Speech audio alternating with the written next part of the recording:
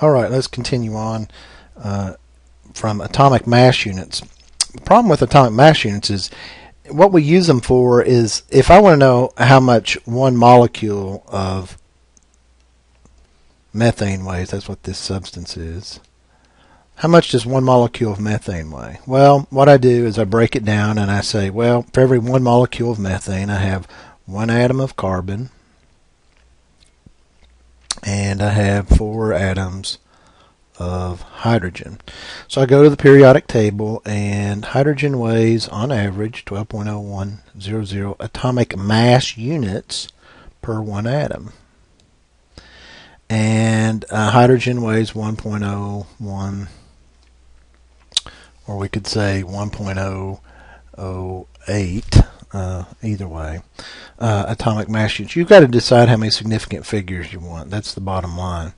So if we multiply this out, we get um, 12.011 atomic mass units. And uh, 4 times uh, 1.01 is 4.04 atomic mass units. And so if we add those together, we get 16.05 one atomic mass units. Now, this is where significant figures comes into play.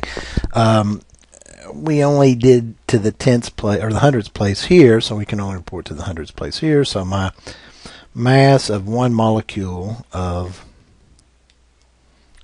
of uh, methane is 16.05 atomic mass units. So we would call this molecular mass. Or if you want to, you can also call it atomic mass.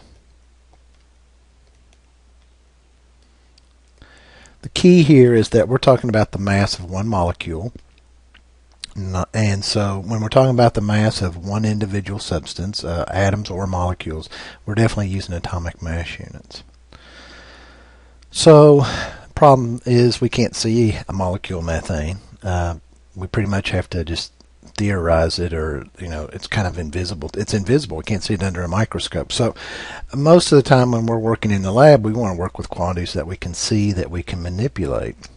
So that brings in the next term which is a mole Avogadro was a scientist who was working on gases, and he theorized how many particles of gas must be in a box. And uh, we come up with 1 mole being Avogadro's number, 6.022 times 10 to the 23rd. So Avogadro theorized in a certain volume of gas there was 6.022 times 10 to the 23rd um, atoms. So we use this um, this equality as a conversion factor. One, like we saw that one kilometer is equal to 10 to the third meters, and we did some conversions with that on the last test. Uh, we're going to use this as a conversion factor. One mole is equal to Avogadro's number.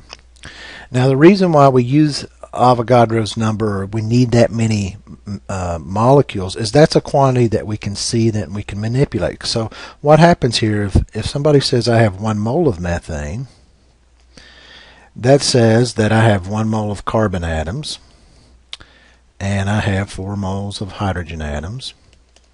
And one mole of carbon atoms weighs 12.011 grams per mole, and hydrogen weighs 1.01 grams per mole.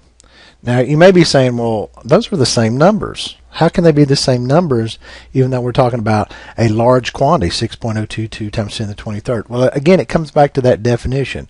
One atom of carbon 12 weighs exactly 12 atomic mass units.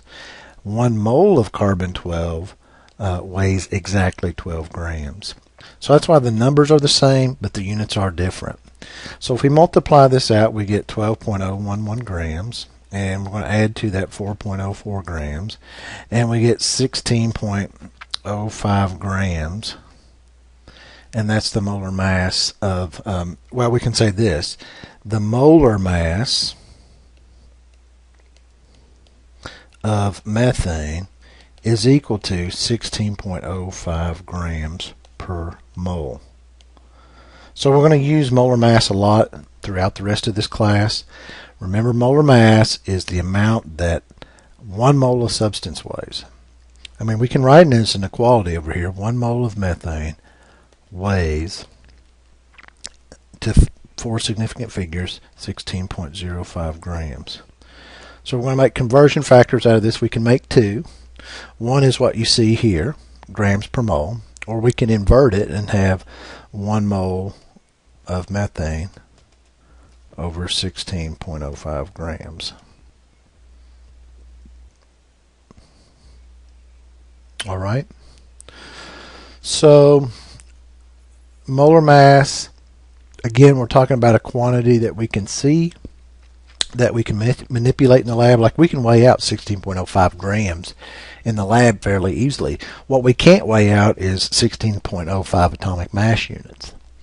So most of the things that we deal with in real life are going to be in molar quantities. And don't get hung up on a mole. It is no different, no different than instead of saying we have 12 of something, we say we have one dozen, whether it be eggs or donuts. Um, the word dozen represents a number 12. The, the word mole represents the number 6.022 times 10 to the 23rd. Nobody wants to keep saying that over and over again. 6.022 times 10 to the 23rd. Or let's say I had to say 5 times 6.022 times 10 to the 23rd. We can get around it somewhat by saying 5 times Avogadro's number. That's a little easier. But then everyone has to know what Avogadro's number is. But it's much easier just to say I have 5 moles of this substance. So moles is a way of grouping number of particles together into groups, into subsets called moles.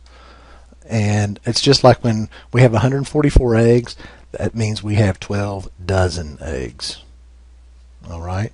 If I have 1.8 times 10 to the 24th atoms of uh, xenon, I have two moles of xenon.